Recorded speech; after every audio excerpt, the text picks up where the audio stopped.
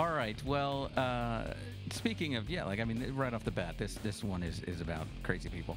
Uh, so this is from Tom'sHardware.com, and the article is Intel's Sapphire Rapids has 500 bugs. Launch window moves further. Well, that's good that they're delaying the launch, but uh, and I love their their punny little sub headline here on Tom's Hardware. Someone call pest control. 500 bugs. I don't know. I Just Yeah, yeah. Intel is having a bad week, and, and this is not the only negative headline out for for Intel right now. They got a couple of different things going on. Uh, if you haven't heard of it, which I don't blame you, the Sapphire Rapids processor, um, Intel has the worst code names for that. Yeah, because how do you is that? Is that newer than Sand Lake was or Adolf Hitler not available? well, well, even if you went with that, what would it be like? Tyrants through Yeah, the yeah, ages. it's just It- a Genghis Khan. So- the Attila the Hun. yeah, I was really looking for you know baby Papa Doc. Mm-hmm. So, so Sapphire Rapids is their next generation server processor, right? So this is if you're if you're building a data center with Intel processors, Sapphire Rapids is the one that's on the horizon. They were hoping to release it here in 2022. Not going to happen. They announced it's being delayed to 2023 due to a couple of bugs, right? So there was a um, Coronavirus. normally normally there'll be like two or three they call them steppings when they have to go in and change something in the processor and redo it. Uh, a- stepping is a big deal right? Because they'll they'll manufacture dies to create the processors. They then run them through testing and if there's a problem they can't just say well let's do a software patch. They have to like rebuild the dies. And so uh, what tom's hardware was saying was that it costs about $10 million every time they have to change the steppings.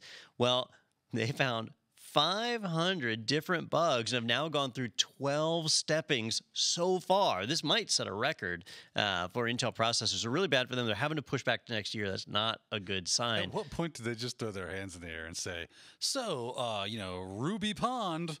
Yeah, we're skipping past the old Sapphire Rapids. Well, so they can't do that. Really? And and if you if you remember why, or if you remember just a little bit about Intel, Intel was really laying an egg just a year ago. Yeah. Uh, AMD was eating their lunch in pretty much every market, and it was looking really bad. They brought back their old CEO to try and get some of their swagger back.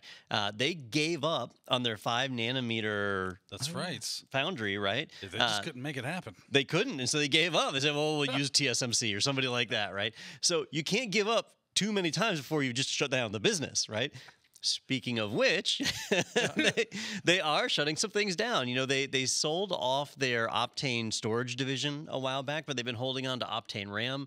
Uh, they have now taken the steps to close down Optane RAM. So all of their Optane product line has been shut down. That was Uh, just a big laid an egg. you know, it was really great technology. Yeah. Super fast, super reliable, super expensive, like everything Intel likes. it just didn't catch on. Well, that will be a problem. I mean, you can have the coolest thing on earth if it doesn't, you know, make people want to buy it. Yeah. Well, then there's that. You know, we- we see that over the years. Do you, do you guys remember Rambus RAM? Yeah. Uh, Yeah, they- so- yeah, I mean, I remember it. I don't remember anything about it. Most people are like you. They remember that it existed, but they never had it. And it was because, like, with modern SDRAM and, and DDR or whatever, the standard itself is free. Like, anybody can manufacture SDRAM, anybody can manufacture DDR4, and you don't have to pay, like, licensing fees. But with Rambus RAM, they came up with a new design that was faster and better.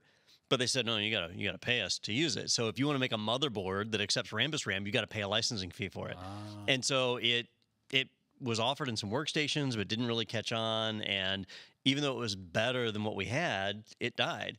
And and that's kind of how Optane is. Yeah, and my guess is, you know, they, they probably build in in their budget for three or four of these steppings. So if we're at 12, we're, we're already saying, all right, we got to sell more of these than we thought we did to, to turn a profit. But I'm looking at it from the side of a customer going, if I'm if if I saw a story about a car and they were like, yeah, that new Chevy, yeah, it used to blow up in, in testing a lot, but uh, they said they fix it all now. So you want to buy the new Chevy? Remember those people it killed? I'm, yeah, I'm not. I'm not doing that. Let, me, let me put a different spin on it. Uh, so, Peter, would you rather buy this Chevy where we fixed 500 problems or this other Chevy where we didn't fix 500 problems? I, I Boy, know. that's It- that's a real no-win situation. Yeah, if it's simpler, yeah, because Yeah. it's never had 500 Yeah. problems. I don't know. It just sounds like, uh, uh, like Either remember 500 cursed. problems is the tip of the Yeah, iceberg. remember that Or you cursed the bottom of Broadway show, like that Spider-Man show, where Yeah. like people were falling from the rafters, and like you just go, oh, just walk away. Yeah. It's- we'll mean, start a new a new dead. show. they finally did that, right? I Didn't think they? did. They Yeah, abandoned it. Like, this is done. That's people what needs to happen. People died, didn't Yeah. they? Yes, multiple Spider-Men. Yeah, I believe. Dude, so would you like to be Spider-Man on Broadway? I, I do not have a suicidal. Yeah, Yeah. thought the in spot head. just opened up. Yeah, I bet it did. After you What cleaned about- that what about the spot understudy? off the Yeah. ground. Like I'm, I'm going to take a pass on that. I'm waiting for the sequel to uh, Mac and Me. yeah, yeah. really The looking the forward wheelchair to that. Yeah, Yes. Uh, who was it? Uh, Paul Rudd. That Yeah. every time we go on Conan would show that. That's fantastic. Uh, all right. Yeah. So bad. A bad time to be Intel. Um, Get it together, guys. a good time to have you know Apple uh, Silicon or or AMD in your machine right now.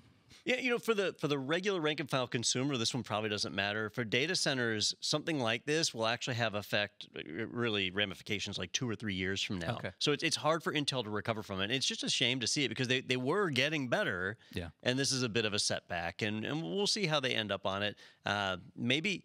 Maybe they'll end up with a, a processor that's more secure than we ever could have hoped, and it becomes the next standard. That'll- that's what's going to happen. I mean, they say you can't uh, make an omelet without breaking at least 500 eggs. I Yeah. believe, Well, Right. there, there you it. go. That's to it. make a four-egg omelet. Ten million dollar omelet. yeah. If you enjoyed that segment, be sure to check out our entire podcast available in the playlist right here. And you can always subscribe to stay up to date with the latest tech news and other happenings in the IT world. Be sure to tune in every Thursday for new episodes. I hope to see you there.